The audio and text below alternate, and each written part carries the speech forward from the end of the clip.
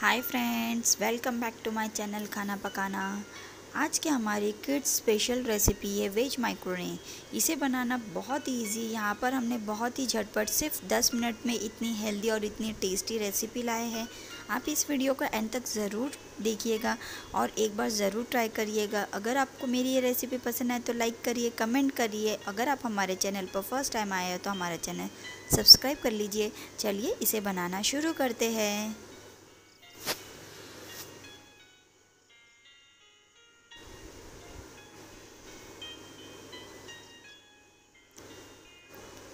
ये देखिए फ्रेंड्स, यहाँ पर हमने एक पैकेट माइक्रोनी का लिए हुए है। उसके अंदर हमने डबल क्वांटिटी पानी लिए है।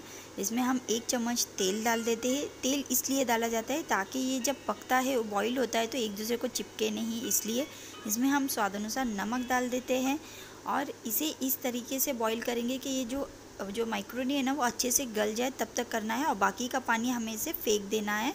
सिर्फ़ सूखा ऊपर का निकाल लेना है। इसमें, इसे बॉईल होने के बाद में इसे पानी में नहीं रखना है। ये देखिए, यहाँ पर हमने एक कढ़ाई ले लिए है। कढ़ाई के अंदर हम एक चम्मच तेल डाल देते हैं। तेल अच्छी तरह से गर्म हो जाए। इसमें हम बारीक कटी हुई हरी मिर्च डालेंगे। यहाँ पर हमने एकदम बारीक पीसेस में कट करके लिए। अगर आप तीखा पसंद नहीं करती है तो आप हरी मिर्च को थोड़ा लंबा कट करके भी डाल सकते हो। या तो आप इसे स्किप भी कर सकते हैं। यहाँ पर हम प्याज डाल देते हैं, जो कांदे की पत्ती की जो प्याज होते हैं ना, कांदे भाजी की, वो वाले प्याज यहाँ पर हमने यूज़ किए हैं। इसमें हम शिमला मिर्च डाल देते हैं और गाजर। यहाँ पर हमने ये दोनों वेजिटेबल को अच्छी तरह से बारीक कट करके लिए है। यहाँ पर हमें इसे ज़्यादा नहीं पकाना है क्योंकि जब माइक्रोनिंग के अंदर ये ज़्यादा पका हुआ रहता है तो इसका टेस्ट अच्छा नहीं आता इसलिए यहाँ पर हम इसे फिफ्टी परसेंट पकाएँगे।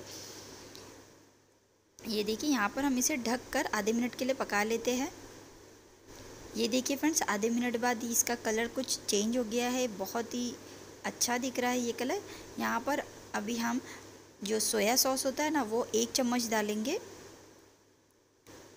और एक चम्मच हम यहाँ पर चिंग्स का रेड चिली सॉस यूज़ कर रहे हैं। और इसे अच्छी तरह से हम मिक्स कर लेते हैं और चलाते हुए आधे मिनट तक हम इसे पकाएँगे। ये देखिए, आधे मिनट बाद ये कुछ इस तरह का हो गया। इसमें हम पास्ता मसाला डाल देते हैं। आपके यहाँ पर जो अवेलेबल हो, आप वो डाल सकते हो। यहाँ पर हमने हाफ़ पैकेट ही यूज़ किए हाफ़ पैकेट हम बाद में यूज़ करेंगे और इसे अच्छी तरह से मिक्स कर देते इसमें हम थोड़ा से नमक डाल देते हमने ऑलरेडी माइक्रोनी को बॉईल करते वक्त डाल चुके इसलिए यहाँ पर सिर्फ़ भाजी की क्वांटिटी के हिसाब से ही डालेंगे। इसके अंदर हम जो माइक्रोनी को बॉईल करके पानी निकाल कर छान कर रखे हुए ये डाल देते हैं। ये देखिए, आप देख सकते हैं ना कितना छोटा छोटा बना हुआ है ये। ये जब हम तेल डालते हैं ना तो उससे इस तरीके की माइक्रोनी बनती है।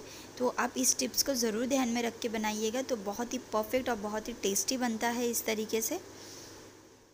ये देखिए, कितना अच्छा दिख रहा है ना यम्मी और टेस्टी यहाँ पर हमने ज़्यादा तीखा नहीं बनाया है, क्योंकि बच्चों को ज़्यादा तीखा पसंद नहीं आता है इसलिए। यहाँ पर हमने पहले हाफ़ पैकेट पास्ता मसाला डाले थे, इसलिए अभी हम इसमें हाफ़ मसाला और ऐड कर रहे हैं।